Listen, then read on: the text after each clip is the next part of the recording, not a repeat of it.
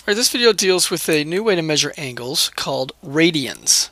Right? We measure angles uh, two ways, using degrees and using uh, using radians.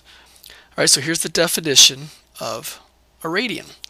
One radian is the measure of the central angle of a circle that intercepts an arc that's like that's on the circle here, an arc equal in length to the radius of the circle. So that really means that this arc on the circle it, has a, it has a length, right?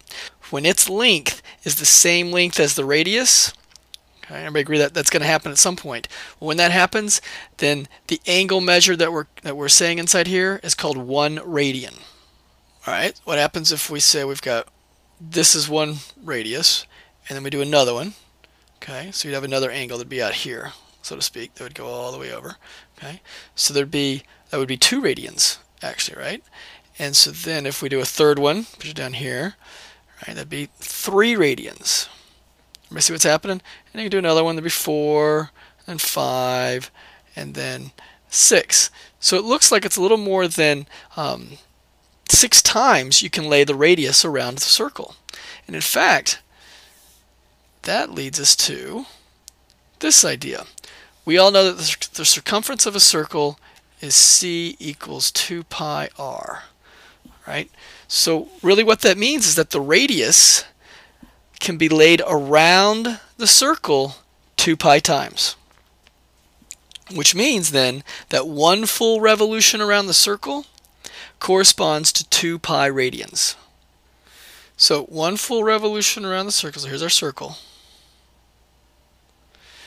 So if we go one full revolution around the circle, like such, that corresponds to 2 pi radians. Well, we also know that one full revolution around the circle corresponds to how many degrees? Right, 360 degrees. Right, so that 360 degrees is equal to 2 pi radians.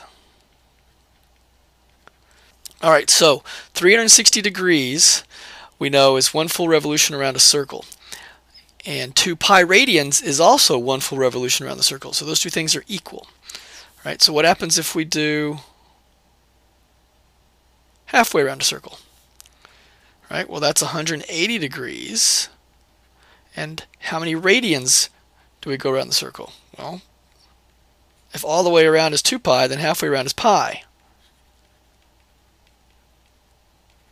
Alright, so we can measure angles two ways, with degrees or with radians.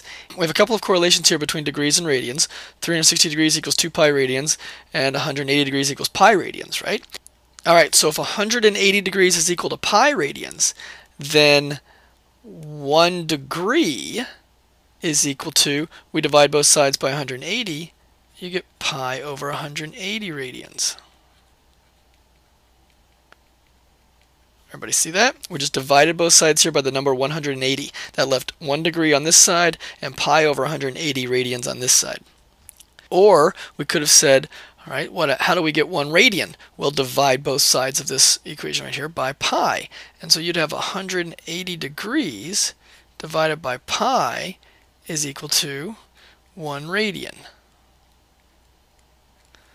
Everybody see how we do that? We're just taking this this equation right here where 180 degrees is equal to pi radians and, uh, and rewriting them in two different ways. And the reason why is because these two things down here, well, that's how we're going to be converting from degrees to radians and from radians to degrees. So the following note, so multiply any radian measure by 180 degrees over pi and then simplify that and that will convert it into degrees. Also, we could multiply any degree measure by pi over 180 radian and then simplify that, and that's we'll convert it to radians. For example, all right, convert 60 degrees to radians. So 60 degrees equals 60 times pi over 180, because we want to convert degrees to radians, so you multiply it by pi over 180, Simplify it up and you get pi over 3 radians. So 60 degrees corresponds to pi over 3 radians. All right, what about converting 5 pi over 6 radians to degrees? All right, well to do that, you take 5 pi over 6, Okay, and that's going to be equal to 5 pi over 6, and we're going to multiply that times. We're converting from radians to degrees, so we have to multiply by 180 degrees over pi. Pi's go away. 5, 6 times 180 all goes to 150 degrees. So 5 pi over 6 radians gets you at the same spot as 150 degrees does. Right, so we're going to need to be able to convert between degrees and radians and then also from radians to degrees. All right, so why use radians? Well, radians are a unitless number. Degrees have, well, they've got the degree unit attached to it. But radians, well, radians, that's just the number of times the radius can be put along the circumference of the circle. It has no unit associated with it, it's just a number. And because of that, it makes the formulas and the equations and the mathematics that we're going to do in the uh, trig class as well as in calculus, uh, it makes them a lot easier and simpler to do. All right, so very useful these radians. All right, so make sure we understand how to convert between uh, degrees and radians. And because radians are unitless in measurement, uh, we need to make uh, note of the following.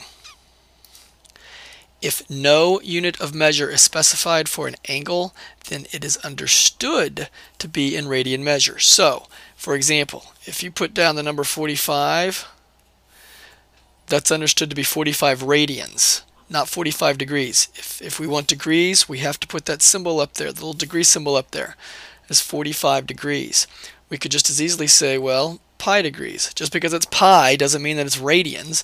It's because it's pi degrees. Little degree symbol is up there, right? So be very careful. This is where common mistakes are, are easily made, is we'll just be in a hurry and we'll write down, all right, 135 and go about our merry way. And you really mean 135 degrees right? Not 135 radians. But if you leave that degree symbol off, then it is understood to be 135 radians, so which is very different from 135 degrees. So just be very, very careful when writing your angles.